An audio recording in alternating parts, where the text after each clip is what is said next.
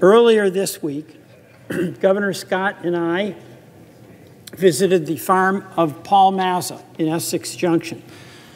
Paul has been farming about 40 years since he was 11 years old. And the farmland that we see here along the river, you can see, has, up, has, has risen up so that it covered much of the acreage. The acreage included raspberries, blueberries, blackberries, crops that neighbors and Vermonters from all around look forward to coming to the Mazza farm and self harvesting. And as Paul said, Paul Mazza said to Governor Scott uh, and to me, the people of Essex and the people of Vermont need my farm, and my farm needs the people of Vermont. And of custom in Vermont was for folks with their families to go to the Mazza farm and do their own picking.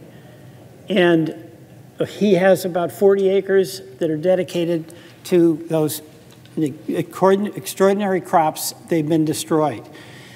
We walked that farm and saw the devastation. And when the flooded waters rose up above the crops and then receded, it left a residue which makes those crops, it destroys them. He also has almost 300 acres of corn, feed, feed corn, uh, and about 250 acres of that was destroyed as well. And what we understand is about 100,000 acres of forest and cropland has been affected by the flood. About 10,000 of those acres are in direct agricultural activity.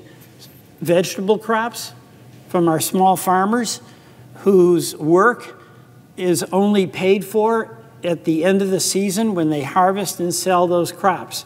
Those crops are destroyed. So many of our smaller vegetable farmers who are so important to community life, so important to getting good, nutritious food, those crops have been destroyed. And the question is whether those farmers are going to be able to get back in business, and we're going to need to be able to help them if that's going to happen.